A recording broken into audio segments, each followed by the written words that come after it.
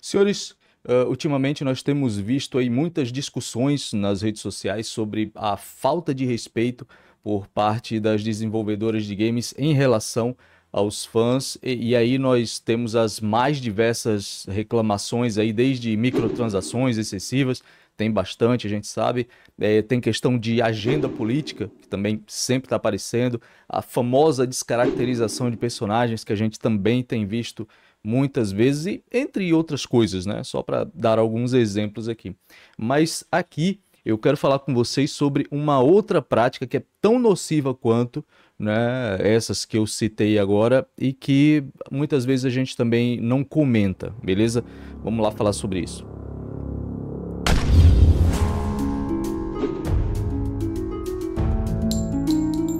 Ok, Beleza, guerreiros, como sempre, satisfação enorme ter todos vocês por aqui. Eu sou o William Hoff, minhas redes sociais sendo projetadas aqui embaixo, vai lá, segue todas elas, é bem importante, tem bastante conteúdo por lá, com certeza vocês vão gostar também, beleza? Além de estar tá contribuindo bastante com a minha produção de conteúdo por aqui, beleza?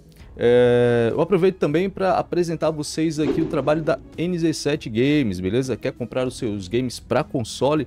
NZ7 Games, beleza? Não esquece de usar o meu cupom de desconto WR5 para você economizar ainda mais aí na sua compra. Vai lá, dá uma olhada no site, tem muita coisa interessante. O link está aqui embaixo na descrição, beleza? Corre lá para ver. Beleza, então, vamos lá para mais um vídeo aqui falando sobre Sniper Elite Resistance, né? Eu já fiz alguns outros vídeos falando a respeito desse jogo, sobre as mais diversas facetas aí uh, desse jogo. E, e assim, só que hoje eu quero falar aqui sobre uma coisa hum, bem peculiar, porque é sobre uma puta de uma sacanagem que a Rebellion está fazendo aí com a fanbase do jogo. É, é uma pena fazer esse tipo de vídeo aqui, porque vocês sabem que eu sou um grande fã de Sniper Elite, sou fã da Rebellion também, gosto do trabalho que eles fazem, sempre com seriedade, mas isso aqui não dá para deixar passar. A verdade é essa, né? O fã realmente está sendo sacaneado aqui, né? É, como vocês sabem, o jogo ele vai ser lançado agora, né, no final de janeiro, né, janeiro de, de 2025, aí para todas as plataformas e tem já muita gente reclamando que o jogo está muito parecido com o Sniper Elite 5 e realmente está. Beleza? É, ele se passa ali no mesmo país, no mesmo período, o que faz dele tecnicamente uma expansão do Sniper Elite 5, não tem como negar isso, beleza? Se alguém disser alguma outra coisa que não seja isso, realmente né, não tem como defender. É, assim, eu tenho visto muita gente reclamando que isso é uma, uma grande falta de respeito, porque os fãs realmente mereciam um jogo feito do zero e tal, aquela coisa toda, pessoal reclamando de que esse jogo é só uma reskin do Sniper Elite 5. Mas assim, pelo menos para mim, sinceramente, uh, se o jogo ele tiver uma boa história e se for cobrado um valor justo por ele, eu acho que não tem problema, né? Eu acho que Sniper Elite é isso. E além do mais, como o jogo ele se propõe a ser realmente uma expansão do Sniper Elite 5, eu não vejo problema que ele seja feito nos moldes ali do próprio Sniper Elite 5, só, só realmente fazendo uma reskin, mudando cenários e tal, não vejo problema nisso. Só que aí é que entra o real problema e o que eu de fato quero falar aqui nesse vídeo, que é o que? A Rebellion, ela tá dando um verdadeiro tapa na cara da fanbase com esse jogo. Por quê? Porque esse jogo ele está custando hoje na PSN, vamos dar uma olhada aqui. Hoje na PSN, esse jogo ele está custando 319 reais. 319 reais, é mole? É incrível. Isso é a versão básica, ok? Não é a versão cheia de coisa e tal. Não, isso é a versão básica, sem nada, só o jogo mesmo. Que inclusive deve ser menor do que o próprio Sniper Elite 5, já que ele é uma expansão e tal. Absurdo isso, né? Então, assim, se a gente for olhar aqui a versão Deluxe, tá R$ 482,90. R$ 482,90. Guerreiro, isso é, é, preço de jogo novo, cara. Jogo completo. Jogo full. Jogo feito do zero. Esse jogo não é feito do zero. Esse jogo ele foi feito em cima das bases do Sniper Elite. Isso aqui é uma espécie de, de um mod do Sniper Elite 5. Como é que vocês me cobram 319 reais preço de um jogo completo? Preço de um jogo feito do zero. Não entendo. Isso não faz sentido nenhum para mim, é sério. Né?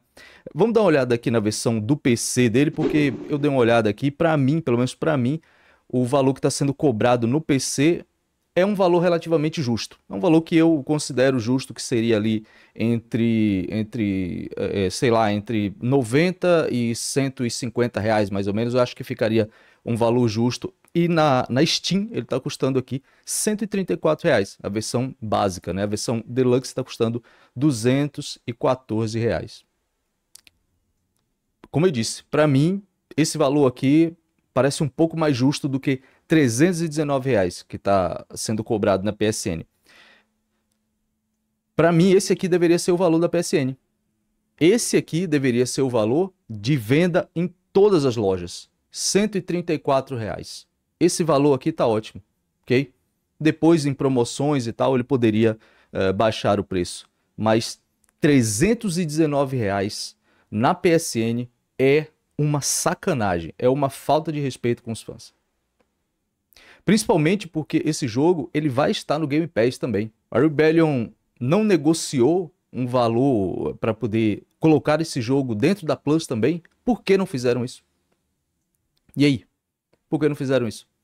Por que não localizou o preço na PSN da mesma forma como fez na Steam? Por quê?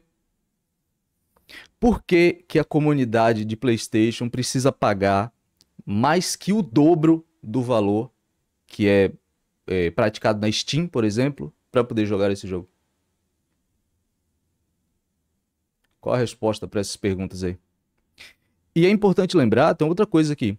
É importante lembrar que é, é, a PlayStation, né, no caso a Rebellion, a, a plataforma que ela mais recebe grana, que mais dá retorno aí para Rebellion, que, que é desenvolvedora e é publisher também da franquia Sniper Elite, a PlayStation é exatamente a empresa que mais dá retorno. A franquia Sniper Elite sempre foi campeã de vendas na plataforma do PlayStation, não foi no Xbox, não é na, no PC, que inclusive é vítima de, de muita pirataria, né?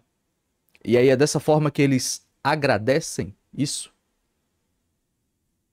E aí?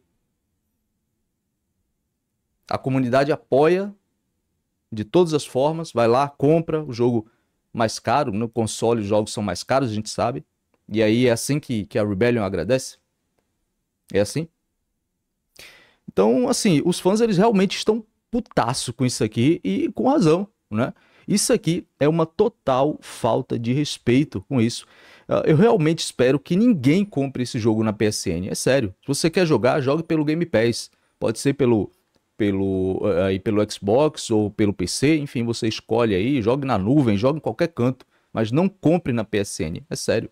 Não compre. Isso aqui é uma sacanagem. Né? Isso aqui é uma armadilha, cara. 319 reais por um jogo que é basicamente uma reskin de Sniper Elite 5. Sniper Elite 5 é um ótimo jogo, ok? É um excelente jogo. Gosto muito, joguei várias vezes, tenho várias horas. Mas você pegar o jogo, fazer um mod, né? Uma reskin do negócio e cobrar 319 reais é... é ridículo. No mínimo, ridículo. Beleza? Comenta aqui embaixo, né? O que é que vocês acham aí dessa puta sacanagem da Rebellion pra cima é, dos, da fanbase, né? Do, do PlayStation. E vamos conversar né? Forte abraço a todos, foco na missão e até a próxima.